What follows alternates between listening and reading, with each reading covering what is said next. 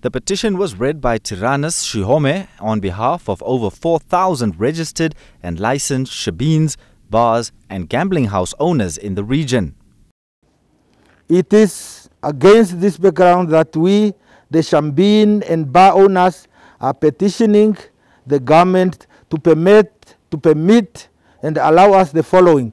One, all bars and shebeens be permitted to sell alcoholic beverages from 10 o'clock to 21 hours on an on-site consumption basis from Monday to Saturday.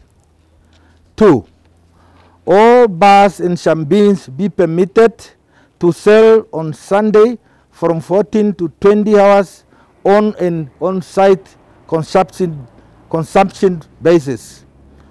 Three, jackpots, pool games and jukeboxes within the bars, within the parameter of the bars and Shebeen be permitted to operate. The petition was received by Otjozondjupa Regional Council Chairperson Marilyn Bakera on behalf of the government. The Honorable Governor is not in today, but we will forward the petition to his office so that it can get the attention it deserves. On that note, I will also urge the Shebeen owners to please, to please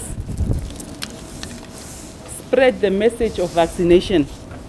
We need to get our people vaccinated. We need to get our workers in the Shebeens vaccinated.